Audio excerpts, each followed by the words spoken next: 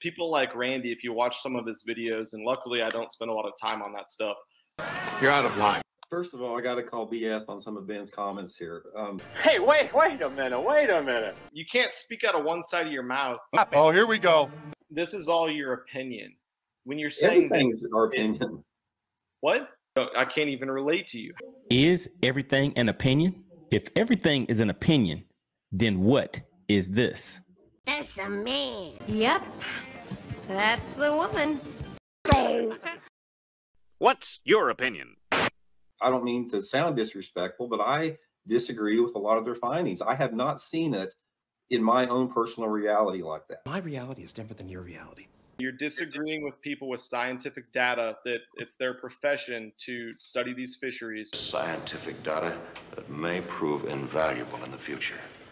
Dude, I've been studying fish for 50 years. Impressive. Oh, what is going on? Like, what is going on? Ben Milliken and Randy Blaukat finally meet face to face in a two hour duel on a podcast called Bass After Dark. They have a two man panel and one expert. Milliken reacts to Randy's subscriber comments. Let's go. Uh, let me let me read you a uh, a text here I got from one of my subscribers that like points it out perfectly what I'm saying here. Randy isn't happy about Milliken's attacks. The the podcast that you did on Mercer, those podcasts using the uh using the thumbnails with tears in my eyes. After I've never I said used the thumbnail two Man, I have times. never I've seen one, I've never said one single video. word bad about you. You're the one that started this. Okay. You are No, you are, but what am I? No, you are, but what am I? It gets a little heated at times. Does Randy have a point regarding tradition? What about the A rig? They banned it because they said in keeping with the, the tradition that Bassmaster holds dear of one rod, one lure, we've decided to, you know, not allow this. It's a tradition. Tradition? Randy Blaukat came prepared with personal experience and subscriber support. Milliken came with numbers and statistics. Which one wins? Now, let's hear from the expert. Listen closely, or you just might miss it. based on the gigabaud rate or the, the, the physical layer. What the hell did he say? I have no idea. It takes that in and essentially takes this massive data stream into the unit, and then the a receiver. Uh, cowabunga, swing, yada, yada, yada. I'm so confused. Hopefully, you caught that. It was very important. Milliken has info from a 33 year study. Really? What'd they say? Quite simply told me that there was no statistical data since forward facing sonar has been released that there was any positive or negative impacts of forward facing sonar on the fisheries population, both the quantity and the size of fish. Wow, I never would have thought of that. This is all getting way out of hand. There has got to be some type of a benchmark in our sport as far as where we maintain that tradition. A lot of people don't understand that aesthetic point of view. I get it. I mean, it's, a lot of my supporters do. I got a ton of people that are on my side, but there's other people out there that, that they don't, it doesn't click with them. You just don't get it, do you? Fishing traditionally has all has been about the unknown. Once you take the unknown out of fishing, I've harped on this in my videos, you diminish so much of what fishing is. Now, this is the real question.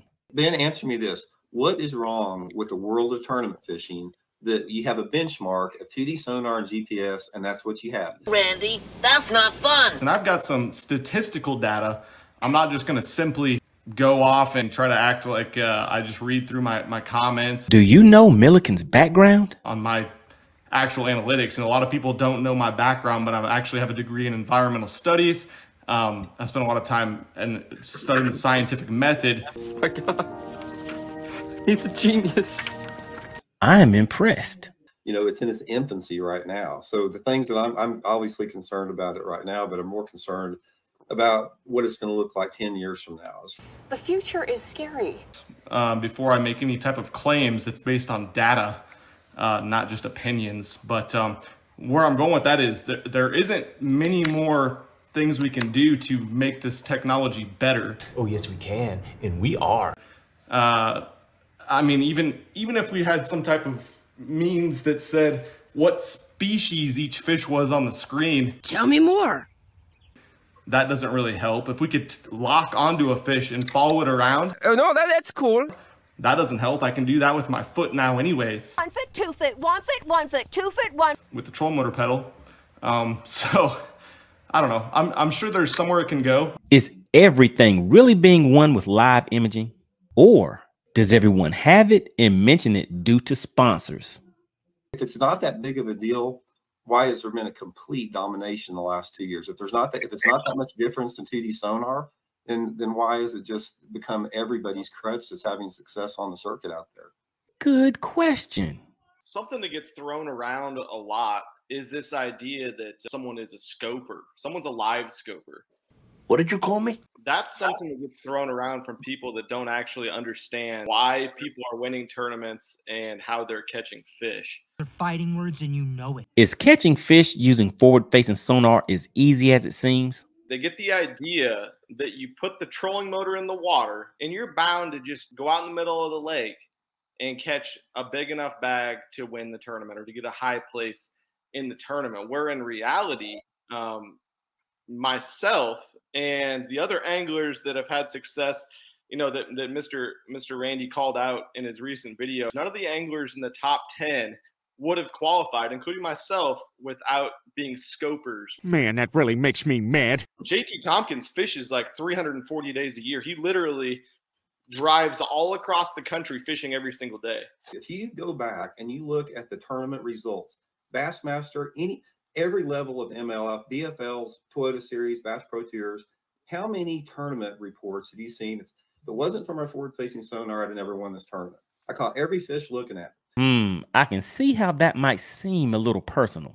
Randy, you wouldn't have a job right now. You wouldn't be making money if technology didn't advance. You're not posting your videos on a damn 1992 IBM computer. You're posting them on state-of-the-art technology. More high-tech than kangaroos. Do you think fishing has become too expensive? Let's get into the whole financial disparity that, that exists with it. That, that's one nobody talks about on the tournament realm. The financial discrimination and the financial elitism that goes along with that technology has a huge impact. Costs have definitely increased. Why can't they allow live scope to be used in practice? It's not allowed to be used in the tournament. My title sponsor, the guy that owns the company, he's he's been a he's got two rangers. He's been fishing forever for 40 years. We fish together a lot, and he can't stand live scope. I mean, he just absolutely hates it. One person. And Bottom line, it appears to be facts versus feelings. Which is right and which is wrong? This is definitely an interesting conversation that is not going to end anytime soon. Who knows? The next advancement that comes out might have people wishing that forward facing sonar was all they had to worry about. Be sure to watch the full debate on Bass After Dark. The link is in the description. If you like this video, I'm sure you will like this next one.